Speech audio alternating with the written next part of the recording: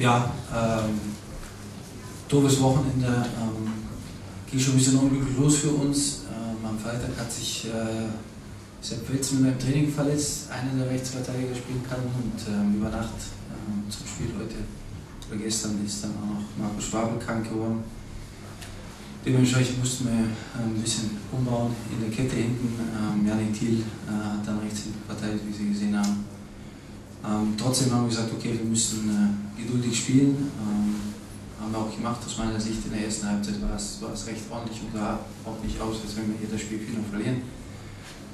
Aber das sind die, die Dinge, die wir vor der Saison auch gewusst haben. Wir haben eine brutal junge Truppe, jetzt haben wir äh, richtig viele Junge dabei. Ich glaube, äh, vier, die noch A-Jugend spielen können, drei, die jetzt ähm, erst aus der A-Jugend rausgekommen. Dann gibt es halt so Tage, wo es dann, wo die Jungs es ähm, ja, nicht alleine hinbekommen.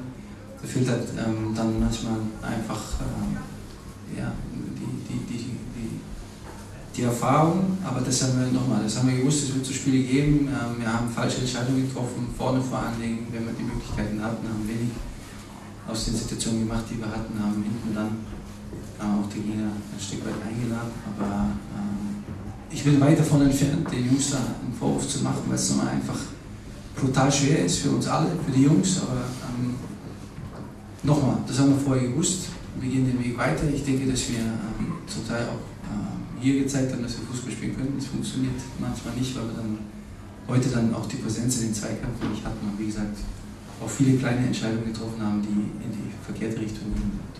Deswegen verlierst du das Spiel, ob es jetzt 4-0, ob das gerecht ist oder nicht, ist dann ähm, letzten Endes auch egal. Aber wir werden mit Sicherheit da nicht ähm, äh, zerbrechen, weil wir alle wissen, äh, wie schwer die Aufgabe ist. Das heißt, äh, Stand jetzt 16.13 Uhr, wir Wiesbaden ist vorbei und äh, schauen wir wieder nach vorne.